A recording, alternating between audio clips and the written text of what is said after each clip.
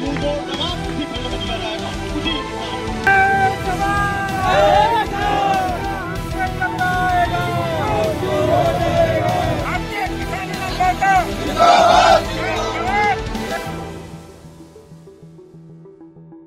मैं भारतीय किसान भानु का राष्ट्रीय अध्यक्ष भानु प्रताप सिंह।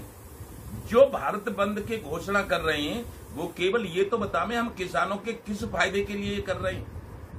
जैसे आतंकवादी संगठन तालिबानी संगठन जो है, उसने अब अफ़गानिस्तान में कब्जा किया है।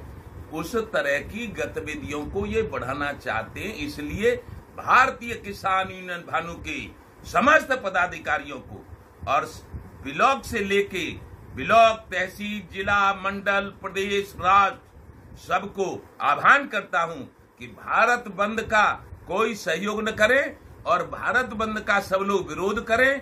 और सरकार से भी ये निवेदन करना चाहता हूँ कि ऐसे संगठन जो आतंकवादी गतिविधियों में 26 जनवरी से हम देख रहे हैं और अब तक आतंकवादी गतिविधियों में लिप्त हैं, उनका सरकार ध्यान रखे और उनको सरकार दबाने की कोशिश करे।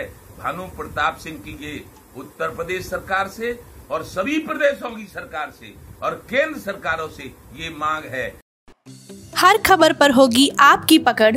सब्सक्राइब करिए हमारे चैनल विद्रोही आनंद को और बेल आइकॉन दबाना न भूलिए।